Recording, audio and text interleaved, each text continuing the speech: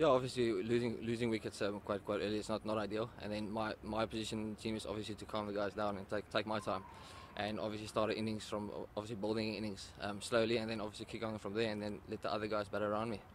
Yeah, definitely. If I look at 290 for five, um, obviously yeah, you'll, you'll take it.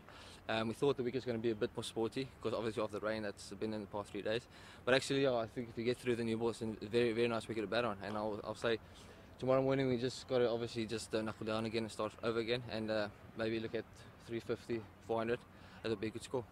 I think um, I worked lot on, on facing spin. Um, obviously in the past I, was, I won't call it a bit negative but uh, this season I, I obviously uh, I'm trying to be a bit more positive against spin. And then obviously um, my game against seam is quite quite good I'll say. And then obviously when the spinner comes on and, and it's and it's not turning a lot then um, to have the confidence to, to bump the guy over and obviously scoring off spinners quickly and fast bowlers it, it helps till the end obviously and it helps till to average. Well I, I hope so. It will be, it, it will be great. Um, but my thought my thoughts now isn't obviously I want to play for South Africa but I won't say um, I, I, must. Um, but the only thing I can do is uh, score score runs at Sunfoil level, and uh, hopefully through that, um, maybe in the squad or in the team. I don't know.